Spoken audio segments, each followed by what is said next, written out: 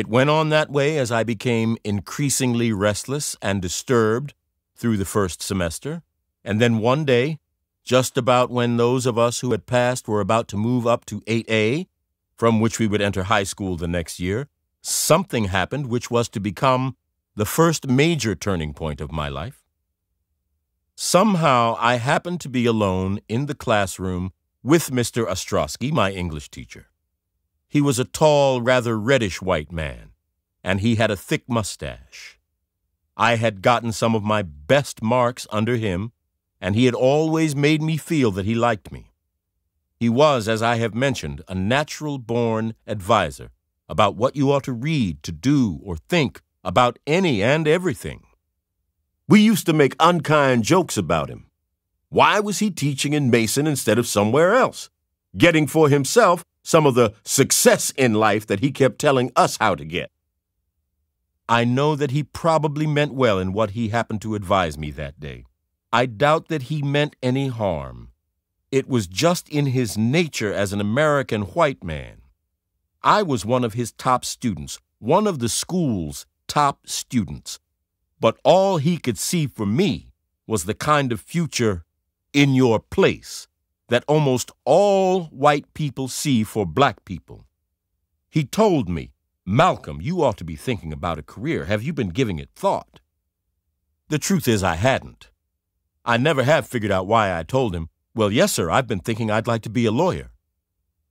Lansing certainly had no Negro lawyers or doctors either in those days to hold up an image I might have aspired to.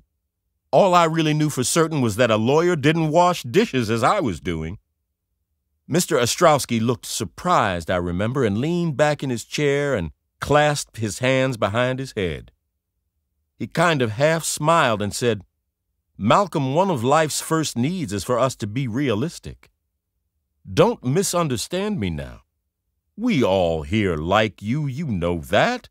But you've got to be realistic about being a nigger. A lawyer? That's no realistic goal for a nigger. You need to think about something you can be. You're good with your hands, making things. Everybody admires your carpentry shop work. Why don't you plan on carpentry? People like you as a person. You'd get all kinds of work. The more I thought afterwards about what he said, the more uneasy it made me. It just kept treading around in my mind. What made it really begin to disturb me was Mr. Ostrowski's advice to others in my class, all of them white. Most of them had told him they were planning to become farmers. But those who wanted to strike out on their own, to try something new, he had encouraged. Some, mostly girls, wanted to be teachers. A few wanted other professions, such as one boy who wanted to become a county agent, another, a veterinarian, and one girl wanted to be a nurse. They all reported that Mr. Ostrowski had encouraged what they had wanted, yet nearly none of them had earned marks equal to mine. It was a surprising thing that I had never thought of it that way before, but I realized that whatever I wasn't, I was smarter than nearly all of those white kids.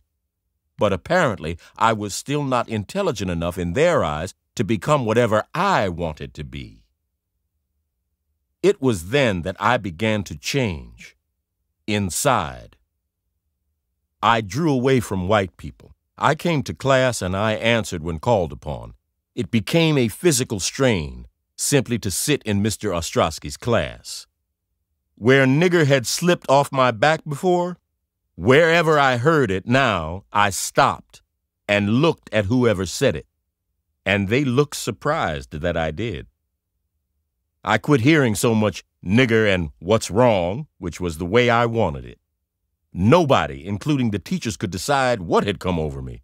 I knew I was being discussed. In a few more weeks, it was that way too at the restaurant where I worked washing dishes and at the Swerlins. I've thought about that time a lot since then. No physical move in my life has been more pivotal or profound in its repercussions. If I had stayed on in Michigan, I would probably have married one of those Negro girls I knew and liked in Lansing.